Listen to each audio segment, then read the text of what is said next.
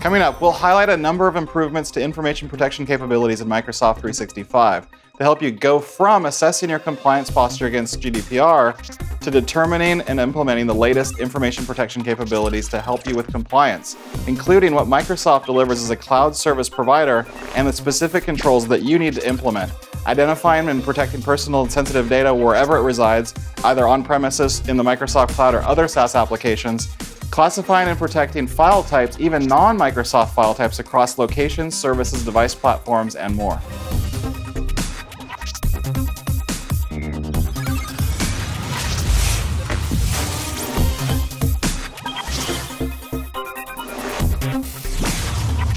So I'm joined today by Gagan Gulati from the Information Protection Engineering team. Welcome. Thank you. Great to be here.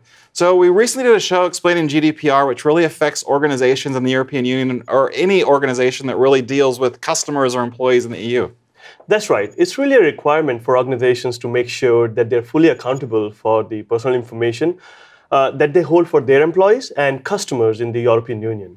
Now, if your organization collects personal data on EU residents, this regulation applies to you. And it's broader than uh, private information such as age, race, government ID numbers, or social security numbers. It could also be IP addresses or mailing addresses. Right, and one important thing to point out is that the deadline is May 25th, 2018.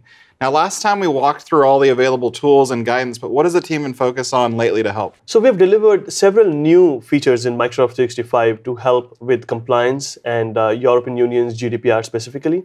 And while Microsoft 365 is a cloud service, it can help IT get a handle on hybrid environments too. Uh, that can include a wide range of services, apps, and device types as well. A key area for focus for us is how we make it easier for you to assess your compliance posture with GDPR and build an implementation plan to protect your information. So the first thing I want to show you is the Compliance Manager, uh, which you can start using today, and it will include assessments across other Microsoft services as well. As you can see here, the Compliance Manager applies to a number of standards and regulations. We see GDPR and ISO 27001, the Compliance Manager is a powerful way to track and manage your data protection and compliance with a risk-based score based on the actions you have taken. So here I will click into GDPR. Here you can see a list of all the services covered. We will be adding more services over time. As you see here, your assessment is based on two perspectives. The first is Microsoft Managed Controls in relation to GDPR. These are the controls that Microsoft leverages as a service provider we provide you in-depth details on how Microsoft has implemented these controls and how third-party auditors have tested the controls. We even give you an update on the status of specific controls that we are in the process of implementing. So that's really great. You're able to quickly see what Microsoft delivers as a cloud service provider in this case. Yes. And the second view that we give you is of the specific controls that you need to implement, what we call customer managed controls, which you are responsible for managing. In this model, there are a number of controls that we have mapped to GDPR articles for you to implement. Here, I'm going to walk you through these controls. You will see the actions that you need to take to implement the controls, as well as the space to document implementation details and test plans. Remember, these are editable fields. You can even upload supporting documents that provide evidence for control implementation and effectiveness. And your compliance team can review and update test status for each article. And as you implement these controls, we help you track your progress. And once your team has tested all the articles you're responsible for, you can export a report to Excel that provides all the details for controls you are managing and what Microsoft manages. At the end of the day, the core stipulation is the protection of personal information. So now let me get back to the article. And now as a compliance officer, I can assign this article to my IT admin. In this case, you, Jeremy. And I'm going to ask you to look into it. So I will click assign and assign this to you. So now here as the IT admin, I, I see that an email has arrived and I click view action. And it's going to take me directly to what's been assigned to me then. When I click on that, I go right to the customer actions and the compliance manager. Now when I click read more in this section, it actually uh, drills down to specific capabilities with links to all these great resources in order to enable this, um, this article. So here, the overall guidance around getting me to a state where sensitive docs are basically protected and discovered and classified, that's all right here. Yes, and as you can see, we have a comprehensive set of solutions as part of Microsoft 365 and we highlight the specific tools and links to guidance that'll help you with this article uh, all from one place. And one of the key technologies that you use in this case is Azure Information Protection within Microsoft 365, which is the technology that my team at Microsoft works on. So this is going to be really good then. So let me check that out. In this case, I'm going to uh, see a link here for Azure Information Protection. When I click that, it's actually taken me straight into Docs. So I can see all the guidance here to get that set up, read about it, and get it implemented. That's right. Ultimately, we want to go from having documents where we are not aware of the sensitivity of their content, like the document we have here, in this document, you can see it's a regular document with no sensitivity applied to this document, um, to where we have identified, classified, labeled, and applied protection to the files we really need to protect.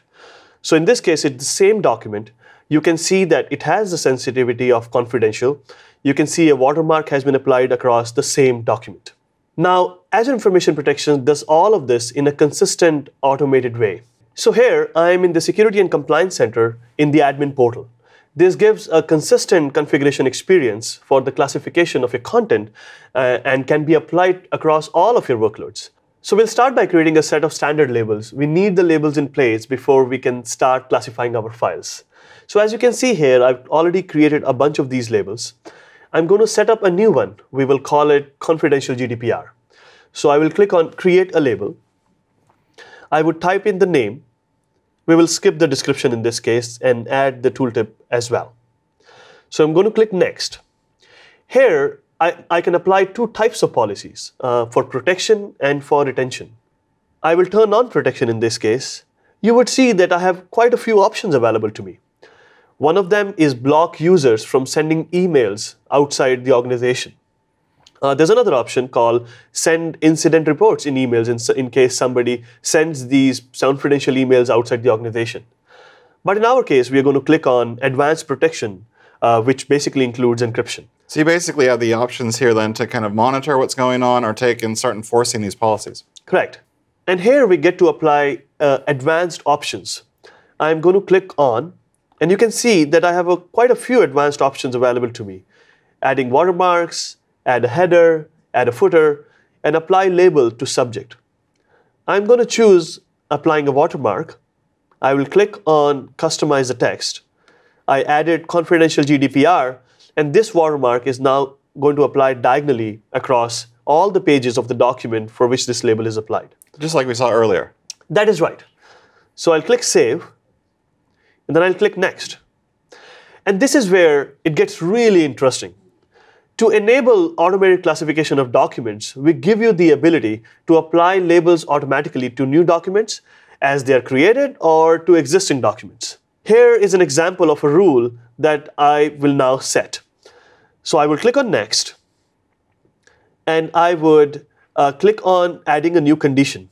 Now remember, in this case, we will trigger classification when we detect passport or personal ID numbers. We support up to 80 sensitive information types to help you protect data for EU residents, or you can customize and create your own sensitive information type. So now I'll click on create, and here I'm going to add uh, the PII information for all French nationals. As you can see, I got four sensitive information types for French nationals, including driving license numbers, national ID cards, passport numbers, and social security numbers. So I'm going to click on add and done. And this is really powerful here because this is going to actually allow you to scan all the files that are already pre-existing in, in your entire suite of files and data. Now, another thing to note here is that we're going to be building out a GDPR template for sensitive information types, but you don't need to wait to get started. Absolutely. Now, I will publish this label by clicking next and clicking create. And once I have published this label, it's enabled across all Microsoft and non-Microsoft services that support our information protection platform. Right, so I know a lot of people probably watching this are thinking I've been collecting lots of data and files over the years and sitting in file shares or SharePoint.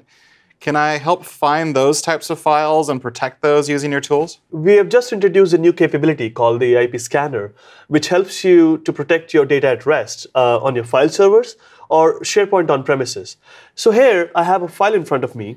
It contains sensitive data in the form of passport numbers, uh, and we want to absolutely protect it. So the first thing I'm going to do is I'm going to close the file, and now we will run the AIP scanner. You can see that I have already typed the command stat service AIP scanner. And pay attention to those PDF files because I think the icons are going to change once you run the scanner. Definitely. So I'm going to uh, click enter.